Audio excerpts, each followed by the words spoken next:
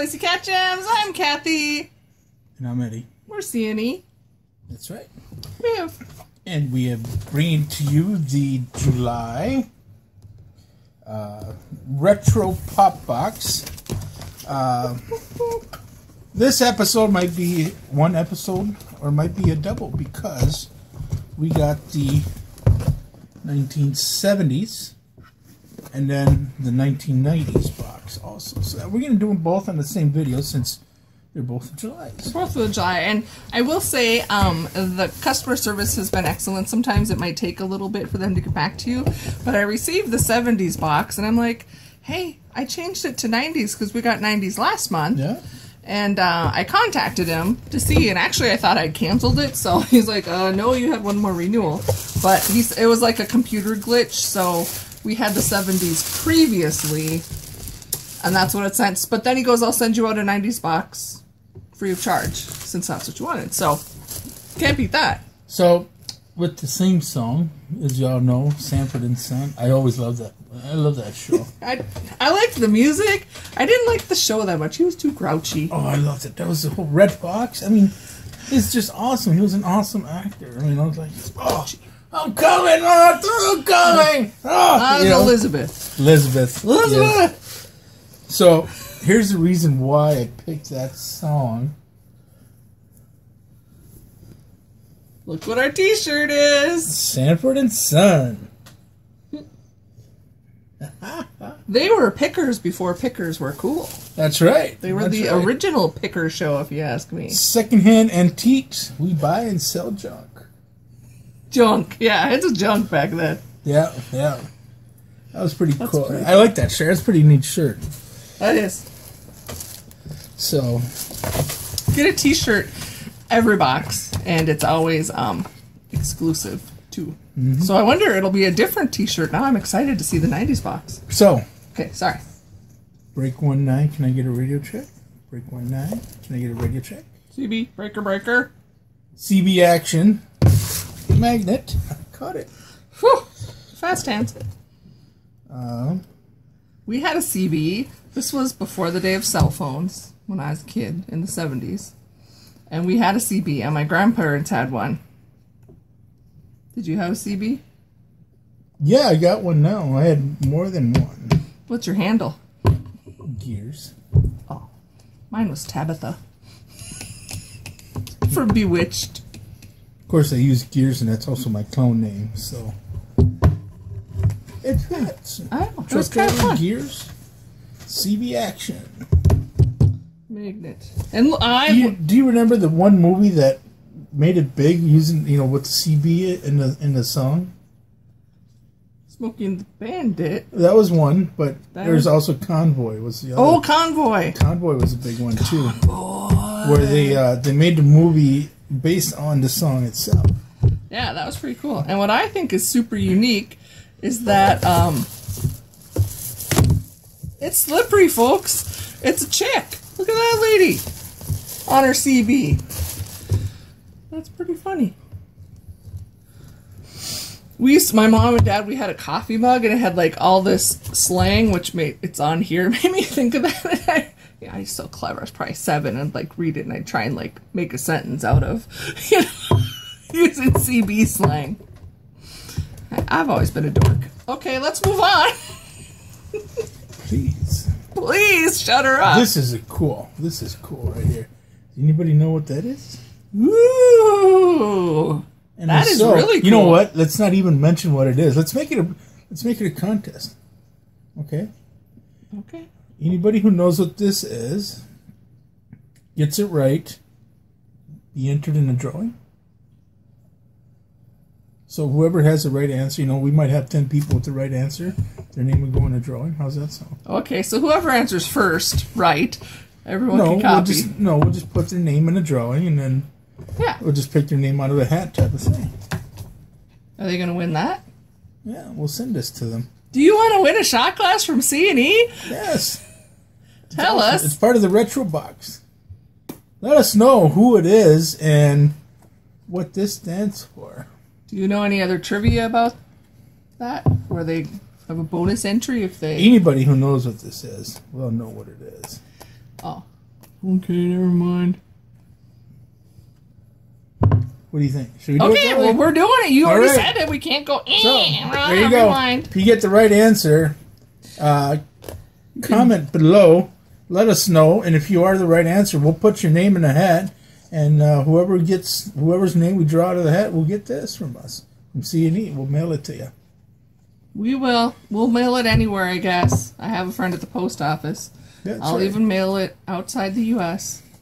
we will do that because C and E. We're C and E. Maybe you'll get the CB action. We'll throw magnet. this in too. The. CB action magnet. Oh yeah, it's all free. So, so yeah, He's we'll keeping the shirt. Sorry. the shirt stays. The shirt stays. You never know. We might. Well, yeah. Keep watching, because we might add more rules and more prizes. You never know. Yeah, exactly. We got two boxes here. We're opening. So those are the two things. You never know what else we might get. It might be a little surprise, whatever. But you know, we'll we'll do something like that. It's worth a shot. I think it's fun for those of you that actually listen to our ramblings. Yeah. So, anyways, going on. What is this? Oh, now I know what they are. Land of the Lost, Nodniks. And it is Chaka and Sleestak. yep, Chaka and Sleestak. Oh, kids kids are having fun with the lights. See, I don't. I liked Land of the Lost. I thought it was like a really cool show, but I didn't. Rec- I guess I didn't have any of the toys. Were these toys that were out then? Because I don't know what Funko Nodniks are. They look like I think they're just like the, bobbleheads. the bobbleheads type of thing, but I don't know if they're actually. I think it's just more based on the characters and yeah, from the hit '70s TV show. Yeah. So Chaka was my favorite. yeah, they're just bobbleheads based on the characters, not exactly an actual toy from that day. As, as far as oh, I don't know. Oh, Yeah, I say I don't remember seeing toys of them. Those are pretty fun though. Urban vinyl bobbleheads. And then what do we got? One thing left. Huh. This one I don't even know. That's because he was not that old. Tennis Oh. in the Astrodome, 6:30 p.m. Thursday, September 20th. Billie Jean King and Bobby Riggs. Does it say what year? Is it on the back at all? Because I don't. I remember. Oh, this is the retro box pop fun fact. yeah. Bobby Riggs was once the number one tennis player in the world in the 40s. Was not a fan of the female game.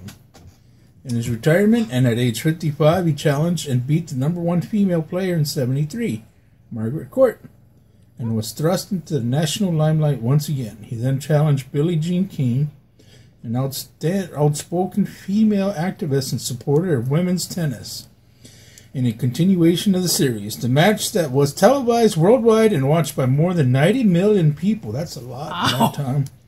King worried that a loss by her would set the equality fight back 50 years. So she treated the match as real versus an exhibition and won convincingly. While King's fight related more to equality in sports, her message and approach to the, to the match and the movement were supported outside of sports and the match became the rallying point of women's liberation. Okay.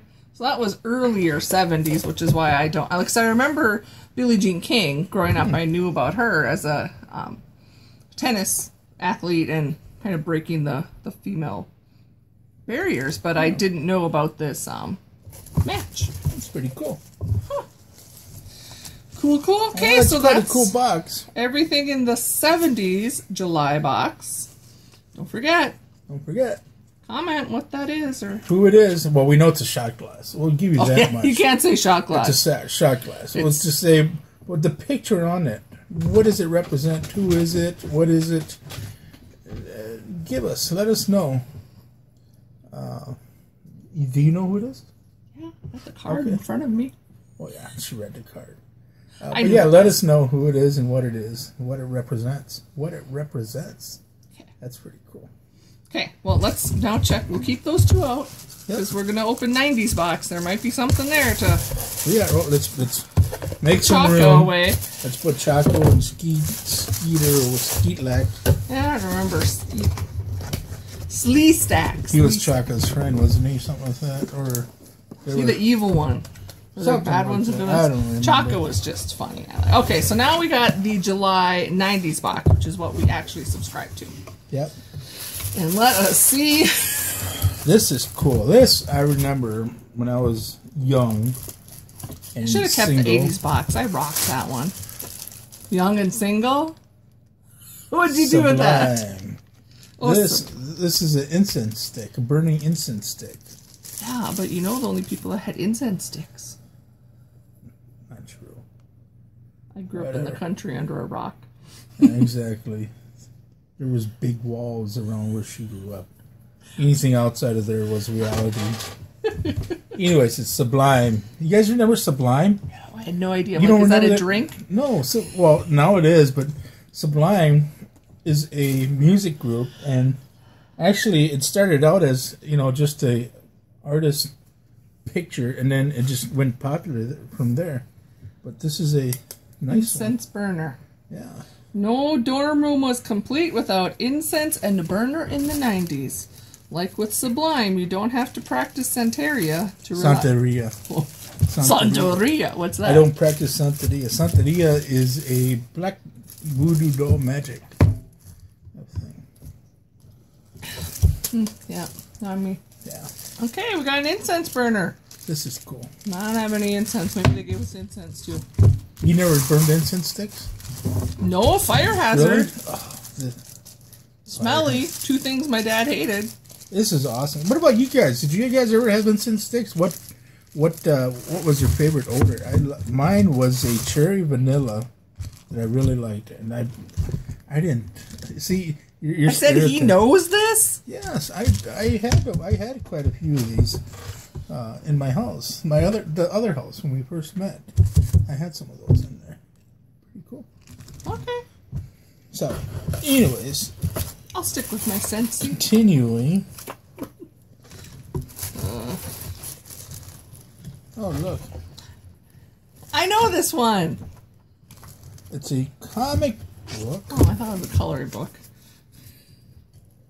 Buffy the Vampire Slayer. The high school years, freaks, Freaks and, and geeks. Well, that's kind of cool. Have your beeper and wooden stake ready. Comic book. Did you watch Buffy the Vampire Slayer? Nope, never watched it. I watched only a few. I babysat for friends frequently, and they were um, kind of hooked on it. They have like little. They taped it, you know, back in the day when we had the VHS, and you had to record it on a tape, and then they'd watch it back with their friends. Okay. This is neat. You already know what it is. I saw it, and I'm like, oh, my dad would have loved this. Look at that. 91, 92, 93, 96, 97, 98. Do you guys know? Look at the colors. Red and white. What could Go it up. be? Oh, huh. I wonder what it is. Do you guys know what this is? The Bulls. Not the Bears. The Bulls. The Bulls. It's their Rally towel. Rally towel. Chuggles Or if you're from Minnesota and was a Twins fan, the Homer Hanky. Homer Hankies It was had. a white one, yep, when they had the World Series out there. Uh, I guess you could take that in the truck and wipe the sweat off your face and feel like a champion. I don't know. Could use it in the bathroom as a hand towel. Any basketball fans out there? Anybody? Anybody? That's pretty neat. It's almost more like a washcloth. It's bigger than a washcloth, but smaller than a hand towel. That's pretty neat. Okay. Oh, hey, we forgot the shirt. We're finally to the shirt. Almost, Usually the shirt's almost Oh, to the sorry. shirt. Not to the. She's sa- he's saving that for last. Yes. This I didn't know. Sarah had to explain it to me. I had no clue what that was. Pogs. That was a fun game. I love playing Pogs. Some of you guys from the '90s maybe you know played Pogs. You got your regular Pogs right there, and then in the back here you got your Slammer. That was pretty cool. We used to, I used to play that all the time too. We didn't have pogs in college calculus.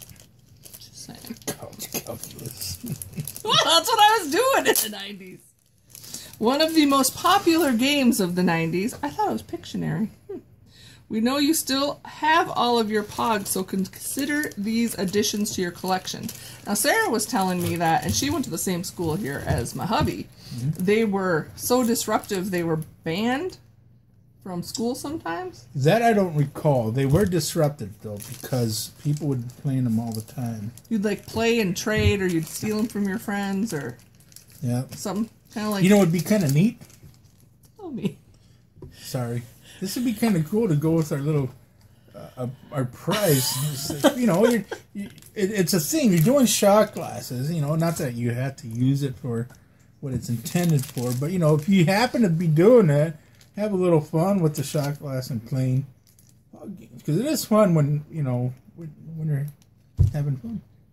Fun when you're having fun, like playing quarters. Can you use pogs for like playing quarters? Oh, instead of using playing quarters, you can play pogs. Okay, so look at that. you get to guess. Do you have a 90s question for the people that don't know what that is but want to be entered? No, I don't. Not yet. Oh, he's going to come up with one though. Because some of you are like me and have no clue about pogs. I'll give you a music about. I'll give you a hint about this, and I already said it. It's music. It's you go. music theme. Um, so, I don't think I know this either. I don't know a lot of things. huh? I never. Ooh, that could be the other question. I got it. I'm not going to read it on the card. Show him the shirt.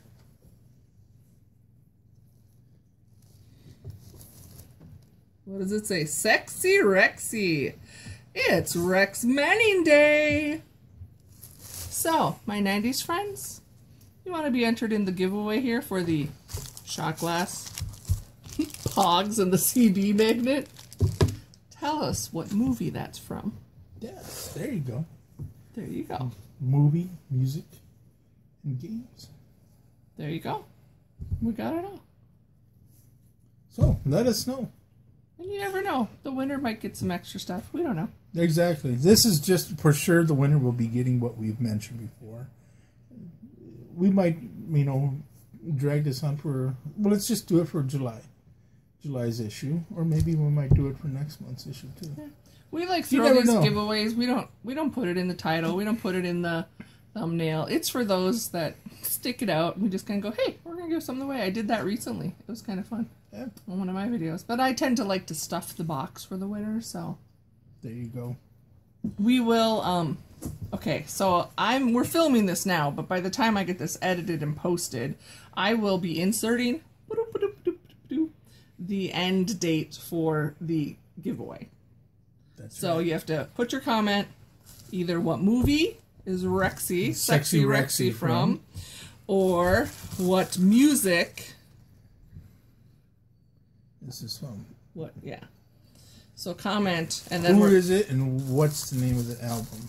Oh, okay. I didn't know how we wanted to go with that. And then we'll just take all the right answers and um, we'll do a drawing. We'll film the drawing and announce the winner. But Yeah. so yeah, just and I'll put the it down below to what you need to do to, to enter and um, the cutoff date when we're going to draw the winner. Yeah, that'll work. Thanks, fun. have Fun. fun, guys. Thanks, friend. Yeah, pong, pongs. You know, thanks, guys. Have fun, and See we'll see you next video. soon. Bye bye. Bye. But I was very excited to be trying. That one right there. Cry baby. Cry baby sour gum. I'd never have tried cry baby gum. Because, again, I was in college when the 90s started. Yeah, once you go in college, you, you can't have nothing. I was doing more important things than trying sour gum, but somebody got into the box. Darn kitties. Damn kitties. Oh. Before we were filming, I'm like, ooh, It was ooh. Ozzy because he's got the sums. he could open the box. I said, I go, oh, Eddie, this is the one. I said, should we try the crybaby on camera and see if somebody cries?